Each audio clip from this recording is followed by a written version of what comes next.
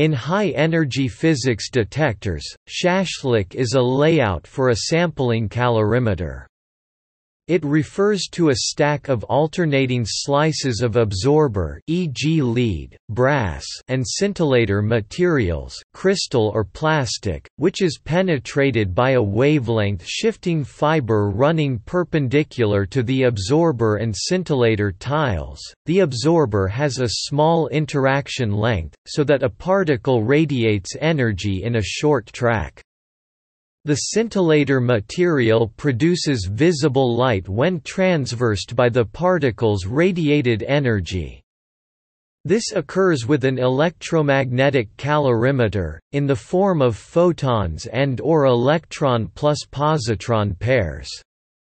The energy of the particle may be then measured by the intensity of scintillation light produced by the various scintillator slices. An example detector that uses a Shashlik electromagnetic calorimeter is the LHCb detector.